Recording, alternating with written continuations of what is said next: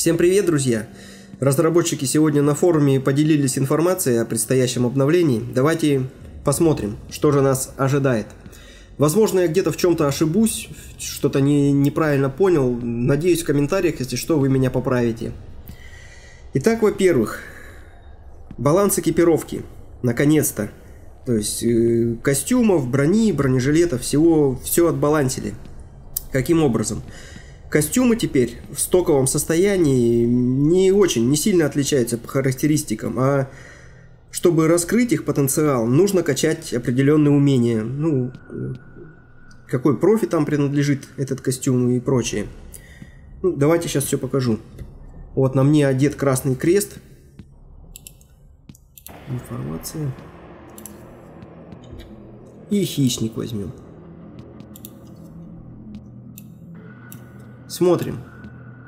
Вроде бы костюмы кардинально отличаться должны, да, разные назначения, но характеристики, видим, особо не отличаются. Там плюс 100 туда, плюс 100 сюда, там и все. Кстати, теперь пулевая защита не превышает 400 очков на любой броне. 400 это максимум. И остальные там, то есть вот огонь, там вода и медные трубы, ну вот эти все там остальные взрывы, не, при, не превышает 500. Все, 500 это максимум, 400 пулевое и 500 все остальные. Ну, вот видите, они не отличаются, по сути. Хотя назначения у них абсолютно разные. И даже уровень, смотрите, тут четвертый, тут пятый, ну вот. Вот. В чем фишка? Фишка в том, что, смотрите, теперь тут указывается вот на красном кресте, видите, тип униформа и какой специальности относится. То есть не надо теперь догадываться, что-то там расспрашивать, какие-то там исследования проводить. Все ясно и понятно указано.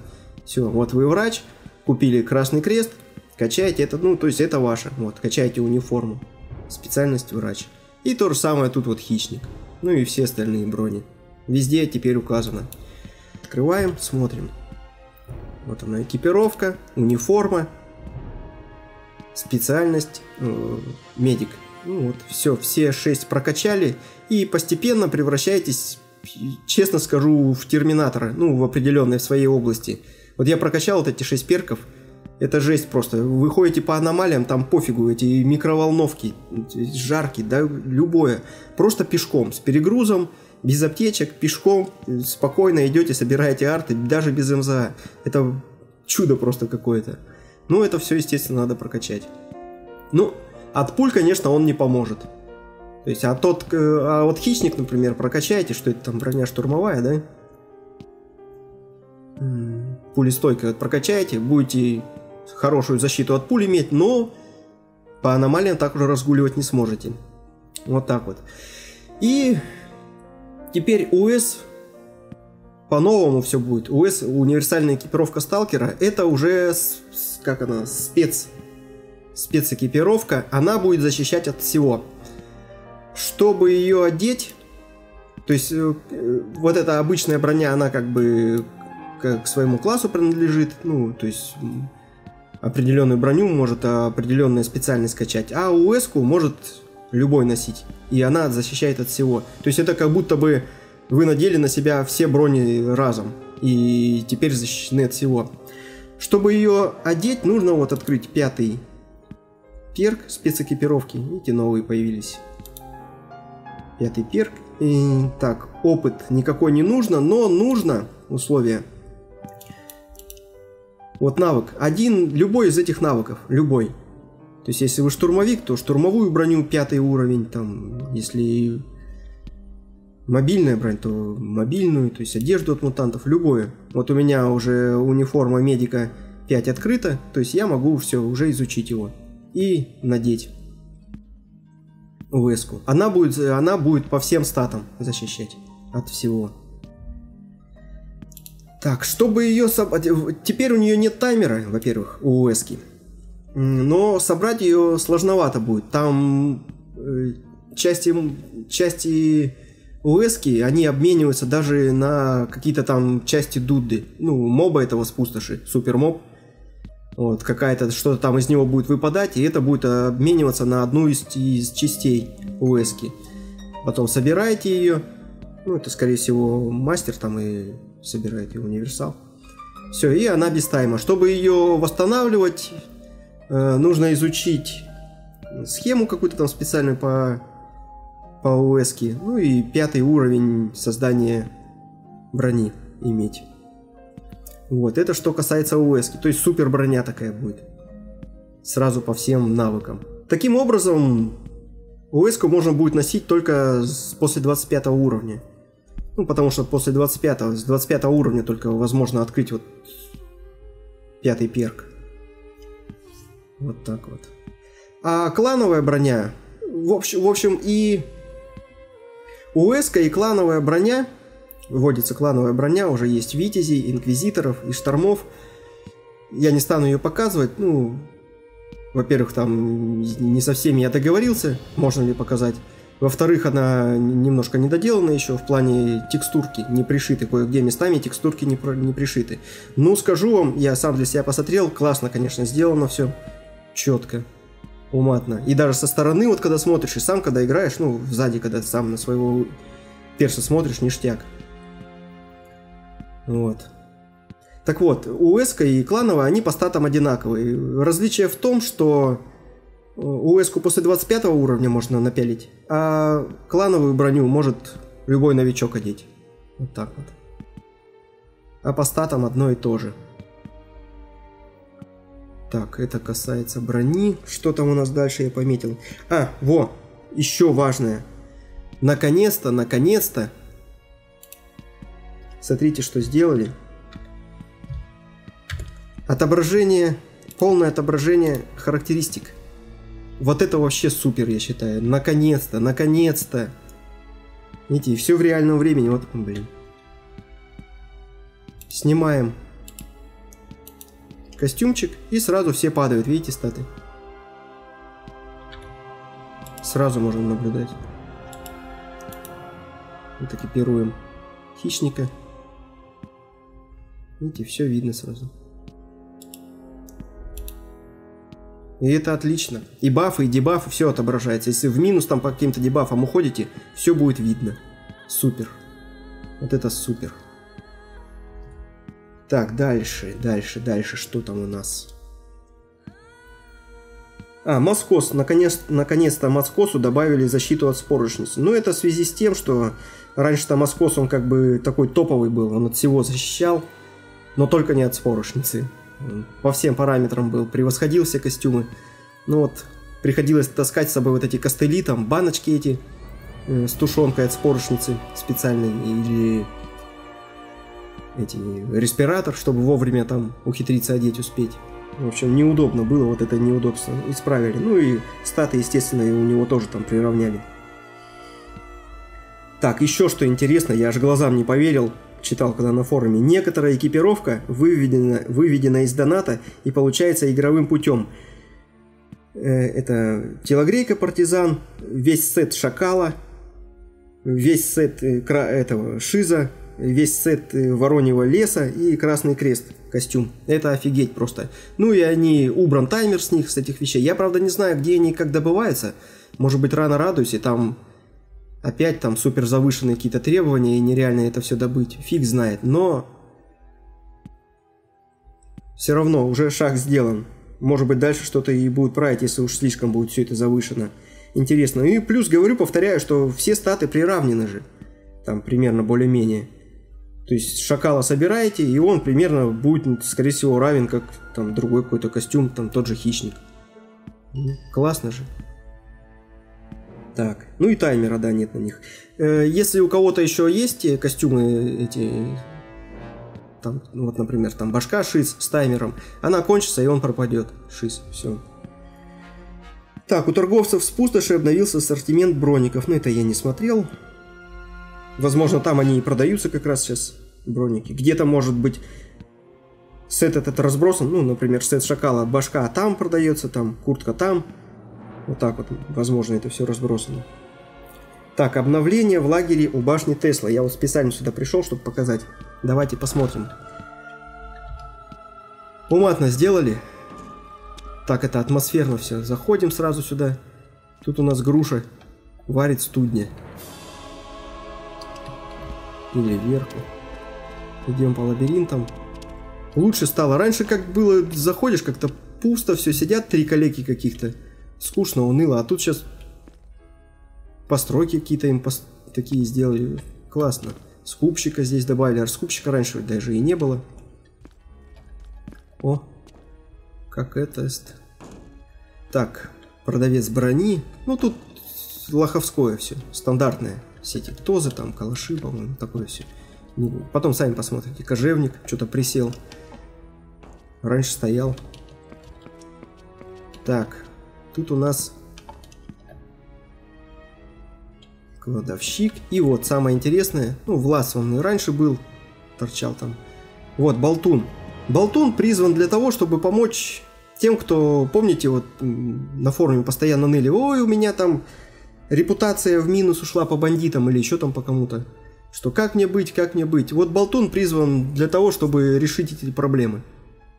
Я так понял. Ну, я не буду сейчас с ним разговаривать, сами потом все посмотрите. Не буду ничего спойлерить сильно уж. Сменные магазины стали прочнее и положительно влияют на скорострельность. Вот это, блин, я что-то упустил, сам не проверил. Фиг знает. Прочнее они все стали и на скорострельность влияет, или только донатные, фиг знает. Может быть, все прочнее стали, а на скорострельность донатный только влияет. Не знаю, вот это я не выяснил, извиняйте. Так, вот еще интересно. Вместо вексов золотые рубли вводят. Наконец-то таки. Вот кто-то там пишет на форуме, что ой, как плохо, ой, все пропало, шеф. Наоборот, все, ништяк. Вы че?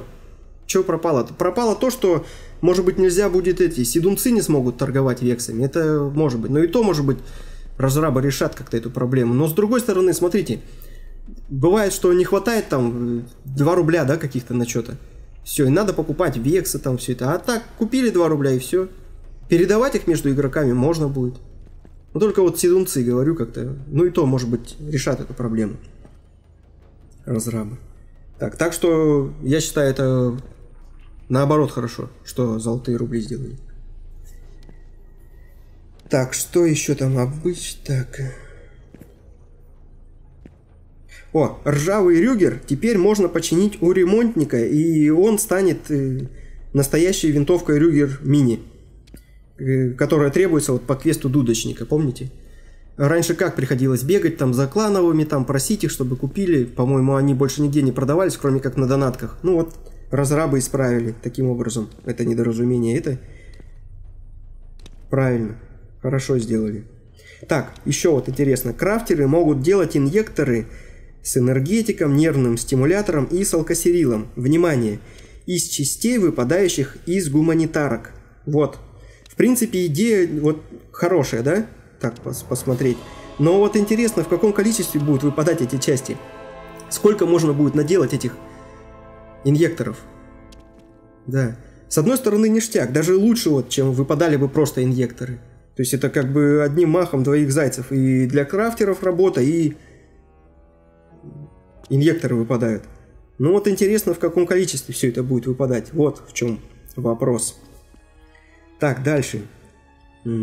Добавлена какая-то вскрытая сумка ведуна. Тоже это я не выяснил. Э, как она там, то ли самому ее как-то там вскрывать надо, она вскрытая будет. То ли уже выпадает она вскрытая. Ну, в общем, эту сумку можно обменять на коробку для медикаментов. Тоже вот интересно. В коробку эту, я так понял, то, что в нее ложишь, оно не выпадает. А положить можно салкосерил, салкопангин – лекарства от спорошницы. Ну, там в определенном количестве все это дело. Помните, я как-то в видео говорил, что вот неплохо было бы для медиков э, в рюкзак санитар хотя бы в тот же добавить какой-то отсек.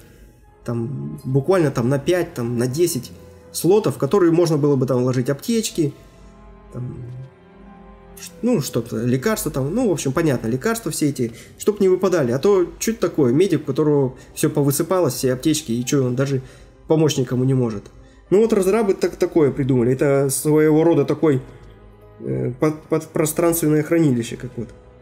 То же самое, только, только для медиков. Вот жаль, нельзя туда добавить э, хранить там аптечки. Но может быть со временем добавят разработчики. Было бы неплохо и логично. Так. Ну и все, в общем-то. Да, все, что я там для себя помечал, выписал. Да, обо всем сказал. Теперь пойду все-таки на аномальное поле на перемещусь и там покажу вам, что какой танк реально становится. Ну, после прокачки. Вы сейчас просто офигеете, это жесть. Тупо прет как танк, и ему пофигу на все эти аномалии. Ну-ка. Они аж попрятались, все в землю поубегали. Ну, где аномалии? Так, вот, жарко. Ну вот, видите, тупо зашел, взял артефакт и пошел дальше. Даже колоться не надо. Если у вас прокачан метаболизм, у меня тоже на полную катушку прокачан метаболизм, видите, только вышел, и все сразу махом восстановилось. Красота. Так, ну давай. Этот... Как ее? Микроволновка. Где микроволновка? Ну, в вихрь я не полезу, он затянет, там не вылезешь. И она все равно убьет. Аномалия.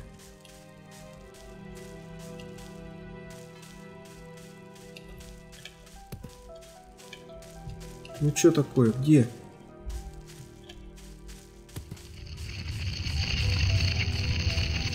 Вот, покоцало уже. Но все равно, видите, хожу пешком тупо. Ничем не колюсь. Встали, потихонечку постояли, все, восстановилось все. Пошли дальше. На караван, короче, можно ходить без МЗА, без аптечек, без ничего. Вот электро, пожалуйста. То же самое. Зашел, взял артефакт, пошел дальше.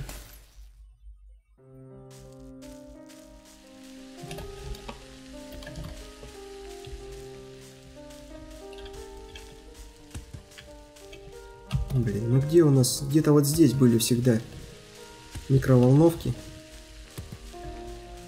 Самая страшная такая аномалия, ну, не считая вихря. Опасная. Из которой даже МЗА, не, с МЗА, при помощи МЗА нельзя было вытащить артефакт. Теперь это можно будет сделать голыми руками, когда прокачаетесь. Ну, что-то нету их. Ну, можете на слово поверить. Сейчас еще раз тут пройдусь что она особого вреда не причиняет.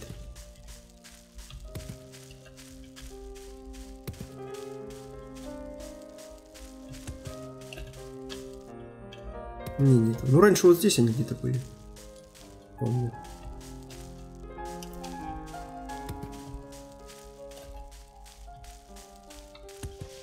Вот она. Зашел, взял артефакт и спокойно вышел. Без беготни. То есть просто тупо ходите по ним и все.